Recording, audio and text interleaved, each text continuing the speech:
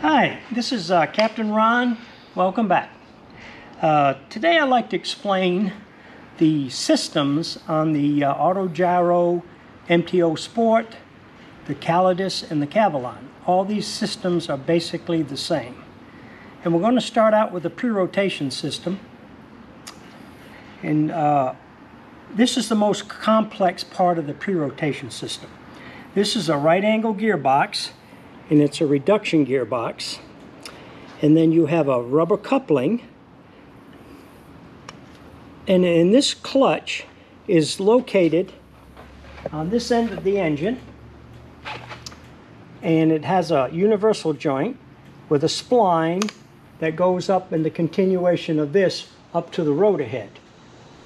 So the operation of this is just like a, a, standard shift clutch in an automobile.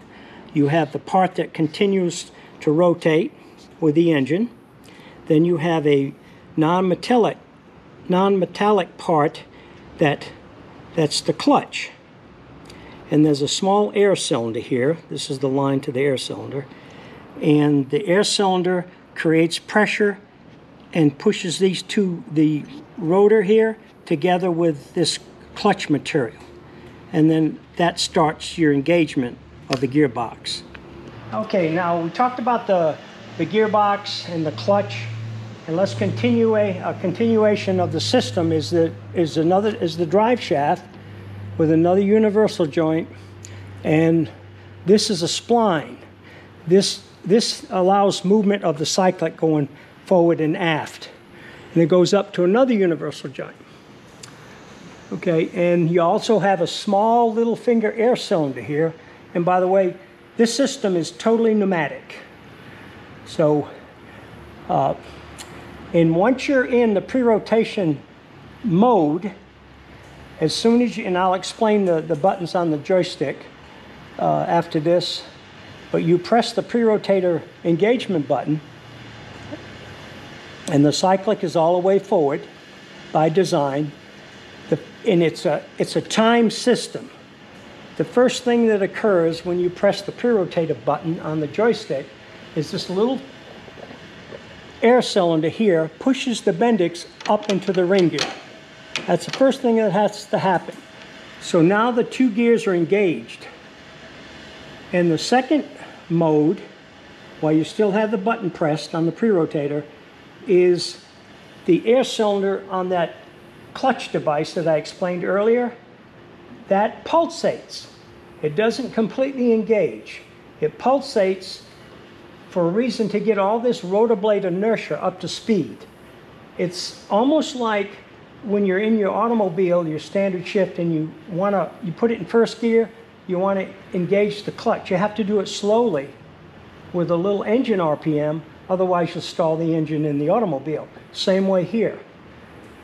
If you don't have a little throttle on, the RPM in the engine, and you engage it too quick, it's going to stall the engine. So this is a built-in the design to pulsate the pre-rotator to get the inertia of the rotor blades up to speed. And then after that happens, then the air cylinder completely pressurizes and totally engages the clutch. And then you get 100% pre-rotation at that point. Okay, let's talk about the uh, pre-rotation controls. Uh, there's a, a, thumb button on the on the joystick. You can either use your thumb or use your finger.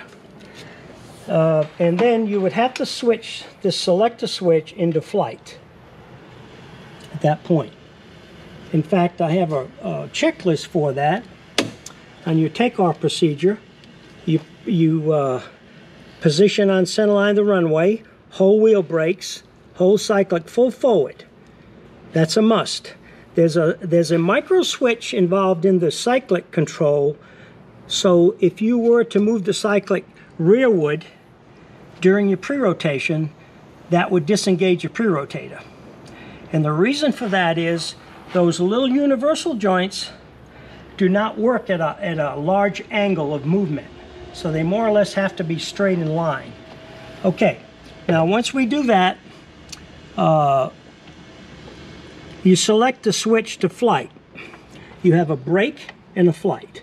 So we go to flight, Once we go to flight, then remember I said you have to have a little bit of engine RPM, otherwise you would it would drag the engine down. The torque of spinning the blades would would stall the engine.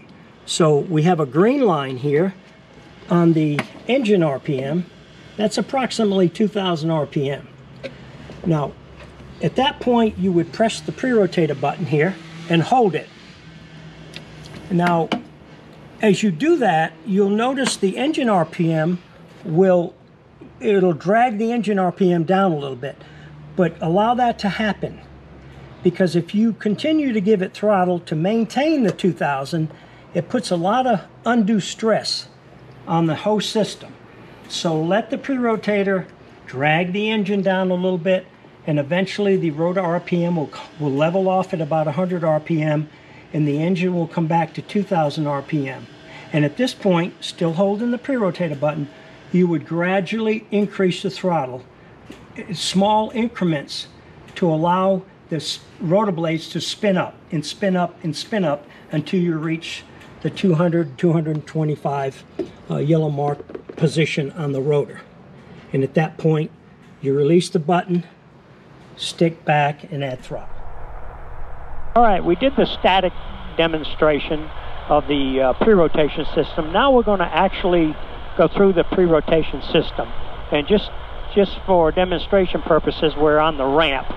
So, but normally uh, I'll read the checklist and just uh, we're on the center line of the runway, for instance, and we're going through the checklist for the takeoff procedure.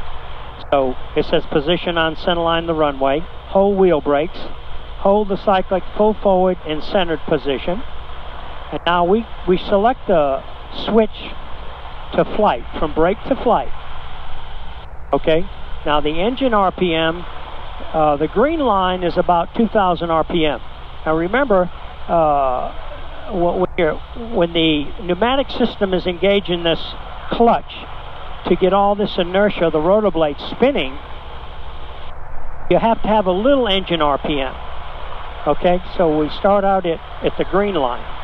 Okay, at this point, now we're going to press and hold the pre-rotation button either with your thumb or your finger. Now, I won't give it any more throttle and the system is pulsating. It's dragging the engine RPM down. Just let it do that. You don't want to keep adding power. It puts undue stress on the system. Okay, now let everything come up to speed. We haven't touched the throttle It's back up to about 2,000. The rotor blades are, what, uh, 100 RPM. Okay, at this point, now you would slowly increase the throttle in small increments. We won't do that, but you would continue to in, engage the throttle forward little by little. You're still at a standstill. You're still pre-rotating until you get to the yellow line, which is approximately 225 RPM. And at that point, you release the pre-rotator button, the count of three, the cyclic should be in the full aft position. And then you would continue your takeoff at that moment.